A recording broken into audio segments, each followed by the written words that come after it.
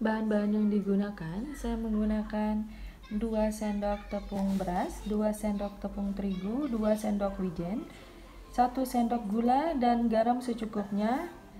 Saya menggunakan pisang tanduk 2 buah dan vanila 1 1 drop atau 1 tetes dan air secukupnya.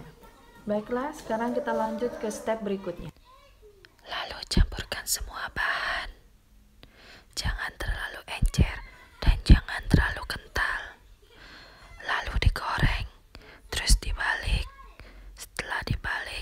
tada jadi.